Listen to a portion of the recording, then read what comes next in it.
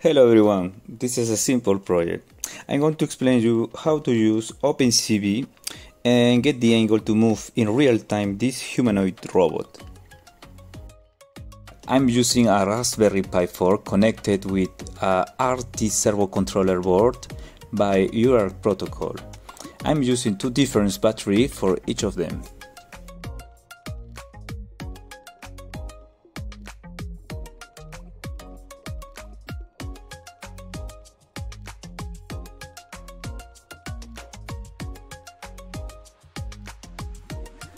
Now I'm going to show you the code and you can see right now two files and one video. This video is to test the code. You can see in the code we have the choice uh, to use the camera in real time or to use the, the video to test.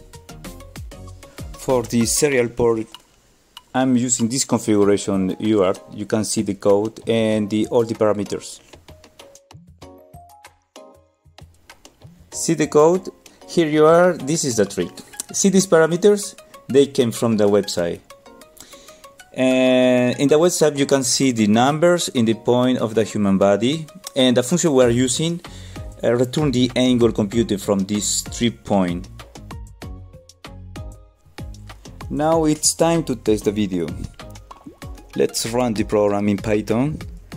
Wait some seconds and here you are, the angle.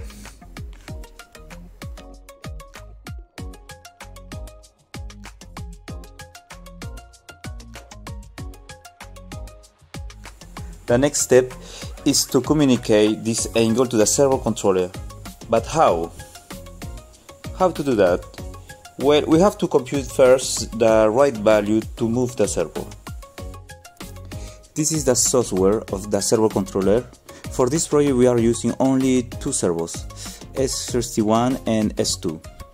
The, you can see the minimal and maximal value, 500 for the minimal and max 2500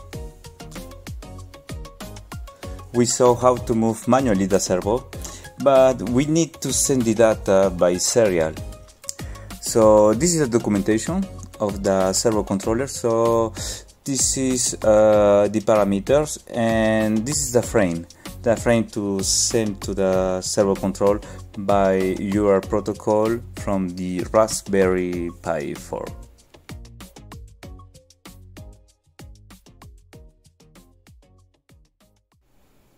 Now we are going to try it in real time with the camera of the Raspberry Pi.